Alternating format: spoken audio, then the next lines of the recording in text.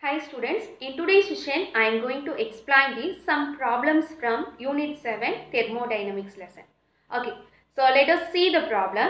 So that is problem 7.7. So refer your book page number 213. So that is 213 page. So see the problem. Calculate the entropy change during the melting of 1 mole of ice into water at 0 degree Celsius. So we converted into Kelvin mean 273 Kelvin. 0 degree Celsius that is equal to 273 Kelvin. And 1 atmospheric pressure. So enthalpy of fusion of ice is 6008 joule per mole is given. Okay. So what is given in the question? Del H fusion is given. So that is enthalpy of fusion. So enthalpy mean H. So change in enthalpy mean del H. So del H fusion is given. So what is given in the question? So that is 6008 joule per mole. So here 6008 joule per mole. Okay.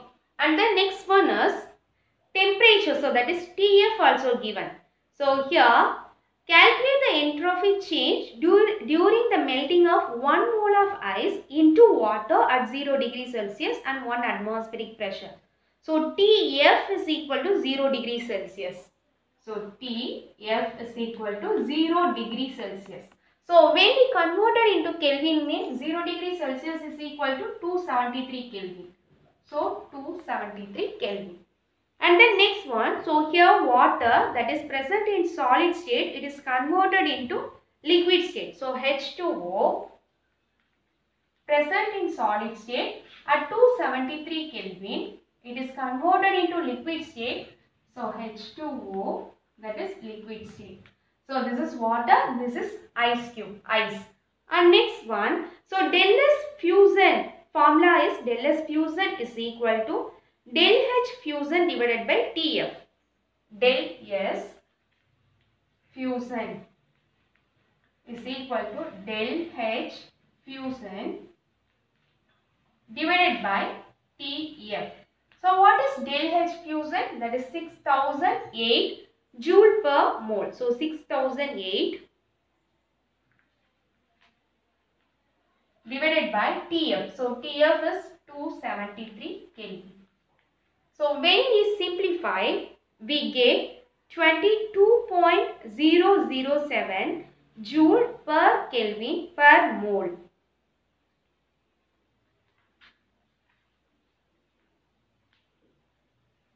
Zero zero seven joule per Kelvin per mole. So this is for del S fuse. And the next one evaluate problem. Calculate the entropy change when 1 mole of ethanol is evaporated at 351 Kelvin. The molar heat of vaporization of ethanol is 39.84 kilojoule per mole. Okay, what is given in the question? TB is given that is 351 Kelvin and del H vapor also given. So that is 39 the 39.84 kilojoule per mole. So we converted into joule per mole only. So multiply by 1000. So 39840 joule per mole. We want del SV. Del SV formula is del H vapor divided by TB. So apply this one and get the final answer. So okay, what is given in the question? TB is given. So TB is equal to what Kelvin? 351 Kelvin. So 351 Kelvin. And next one is del H vapor. So del H vapor. So del H vapor is equal to 39,840 joule per mole. So 39.84 kilojoule per mole is given. 39.84 kilojoule per mole is given. So we converted into only joule per mole mean. So into 1000. So we get 39,840 joule per mole. And then next one is del SV we want. So we write del SV. So what is the formula for del SV? So del SV is equal to del H vapor divided by TB. Del H vapor divided by TB. So what is del H vapor? 39,840. So what is TB? So that is 351 Kelvin. So now del SV. So simplify 39,840 divided by 351. We get 113.5 joule per Kelvin per mole. So 113.5 joule per Kelvin per mole.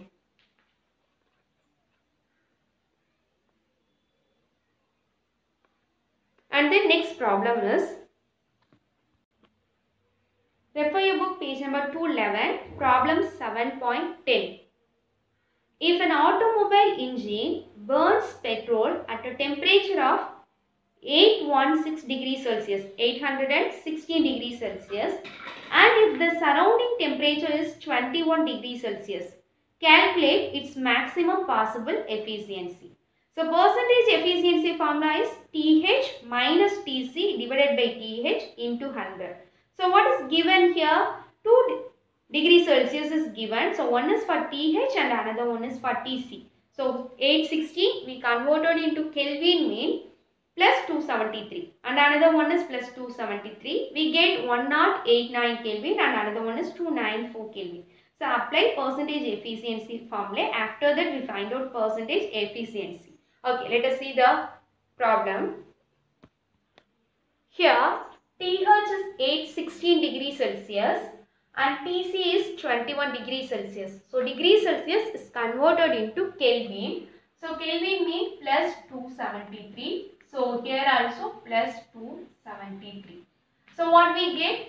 So, here is equal to 6 plus 3, 9. So, here 7 plus 1, 8. 8 plus 2, 10. So, 1008, 9 Kelvin. So here 273 plus 21. So 294 Kelvin. So this is for TH and next one for TC. So apply these values in percentage efficiency. So percentage efficiency is equal to what is TH value? TH value is 1089 minus TC value is 294 divided by TH value 1089 into 100. So simplify this term. So percentage efficiency is 73 percentage. So this is percentage efficiency. And then see the next evaluate problem. Evaluate yourself 5, page number 211. An engine operating between 127 degrees Celsius and 47 degrees Celsius takes some specified amount of heat from a high temperature reservoir assuming that there are no frictional losses. So calculate the percentage efficiency of an engine. So same method this one percentage efficiency is TH minus Tc divided by Th into 100. So here first temperature is 127 and second temperature is 47 degrees Celsius. So apply this formula is here. So here TH 127, so we converted into Kelvin plus 273, 400, TC 47 plus 273, 320. Percentage efficiency formula is here.